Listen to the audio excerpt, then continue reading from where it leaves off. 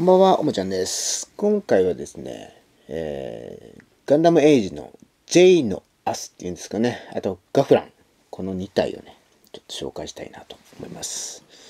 こちらはですね、えー付属してくるのは、この剣と、このカードですね。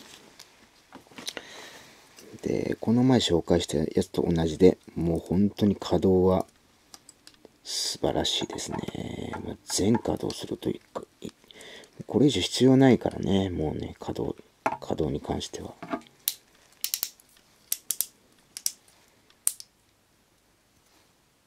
横にもね、ちゃんと動くんだよね。こういう風に。すごいよね。うーん、これがね、400いくらだったんだよね。400いく、20円だった。こっちは。うん。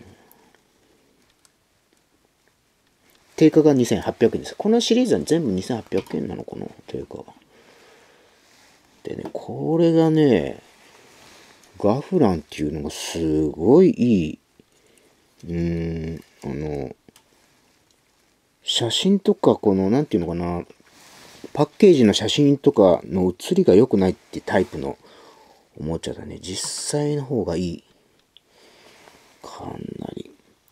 肩がこうね、なって。この羽のところもね、これ通常はどうなのかな？折りたたんで、折りたたんで入るのか、ここに。こう。通常は。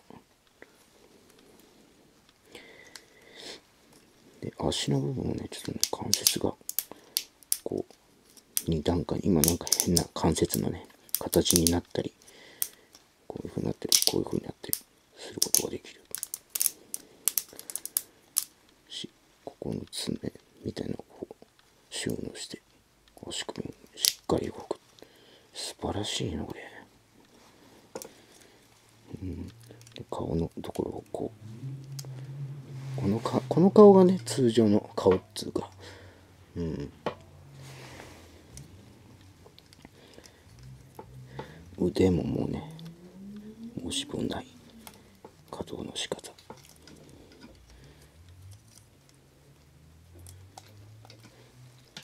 で尻尾みたいなのがあるんだよねこれね。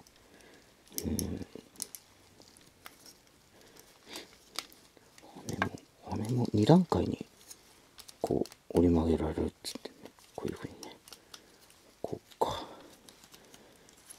こっちから見たらこれかなこういうふうに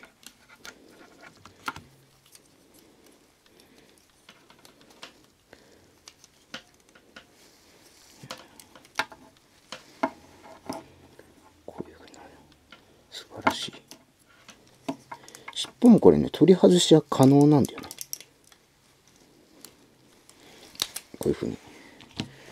この状態で要はね。かっこいいよね、うん、でねやっぱこれゲージングなのでね。あのあなゲージング名前まだ覚えてないな。えー、っと。えー、っとビルダーだ。全然違った。ビルダーなのでこの例えば腕をね外してこっちのガンダムのこうやってね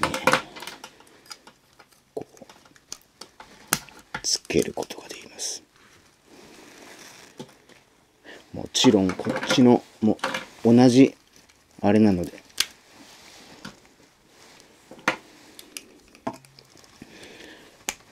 こういうふうにねできるんですよ。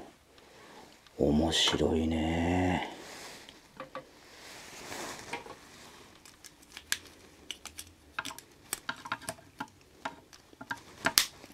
こういうふうに。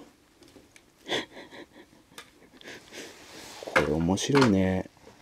うん。